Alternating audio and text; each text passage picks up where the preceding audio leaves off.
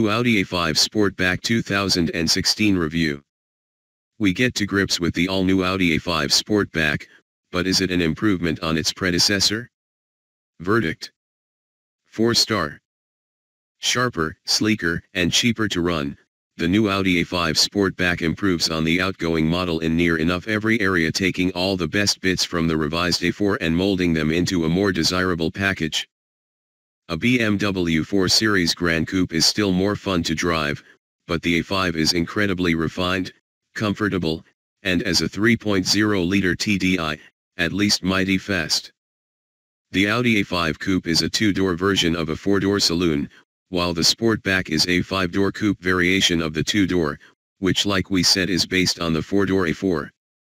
Confused? Well, it's actually much simpler than it sounds. Acting as a halfway house between the sporty A5 and more mature A4, the A5 Sportback is a sleek, stylish coupe with a bigger boot and a pair of usable rear seats. It first went on sale in 2010 and now we've been given the chance to drive the second generation model ahead of first UK deliveries early next year.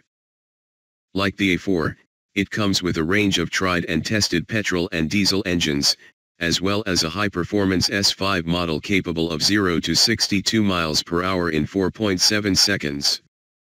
The entry-level 2.0 TDI will take the lion's share of sales, but it's the more powerful 3.0-liter we drive here for the first time.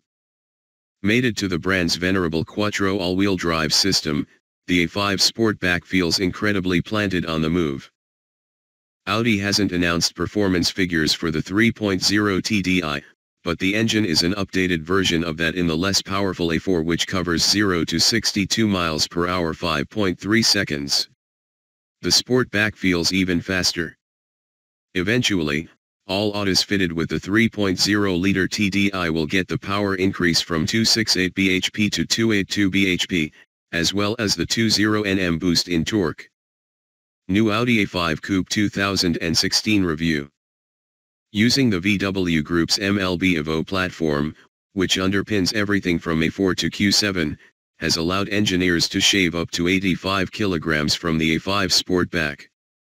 It makes the sleek 5-door feel more nimble on the road than it did before, with impressive body control through long sweeping bends.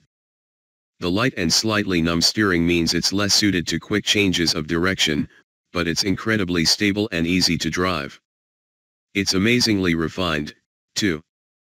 The sleek shape sees a drop in the car's drag coefficient from 0.29 CD to just 0.26 CD but the super quiet interior highlights a bit of wind whistle around the A-pillars and door mirrors.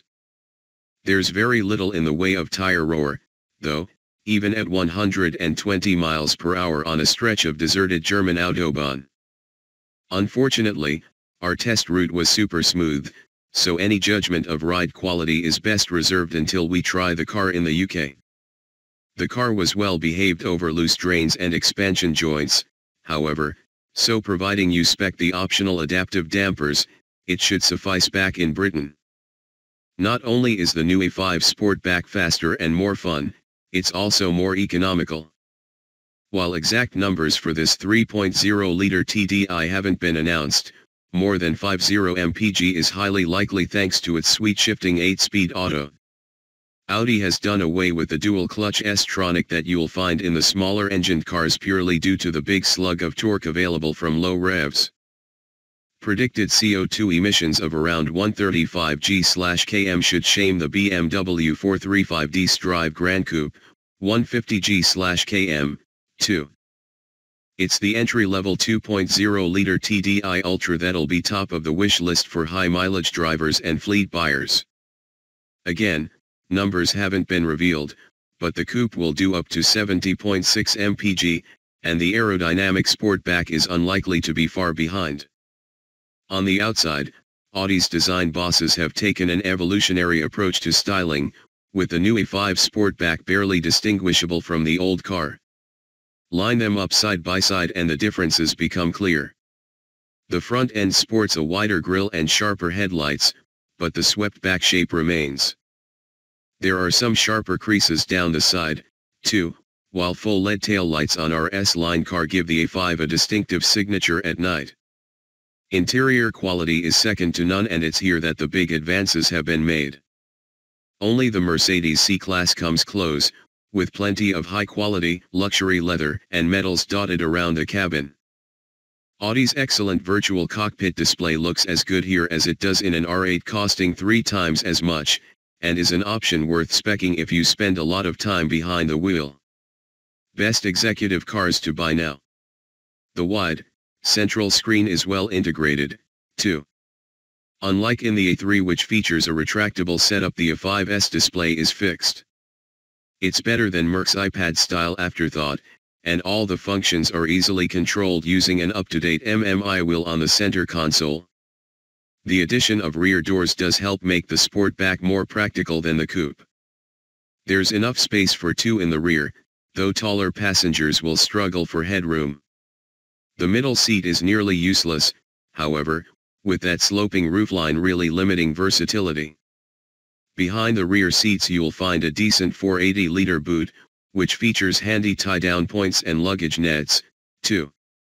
There's no underfloor storage however, and the door bins are slightly smaller than we'd like. Standard kit includes 17-inch alloy wheels, xenon headlights, and 3-zone climate control.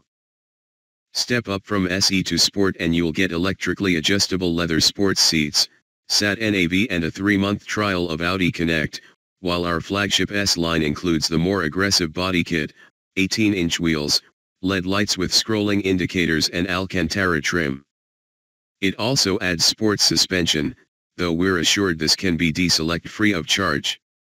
Key specs. Model, Audi A5 Sportback 3.0 TDI Quattro S-Line.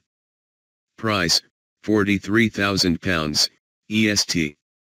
Engine, 3.0 liter diesel. Power slash torque, 282 bhp slash 620 nm. Transmission, 8-speed auto, 4-wheel drive. 0 to 62 miles per hour, 5.2 seconds, EST. Top speed, 155 miles per hour, EST.